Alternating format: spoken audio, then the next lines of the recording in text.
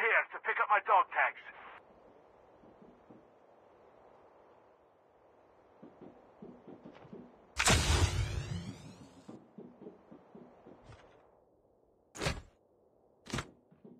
Please go here to pick up my dog tags.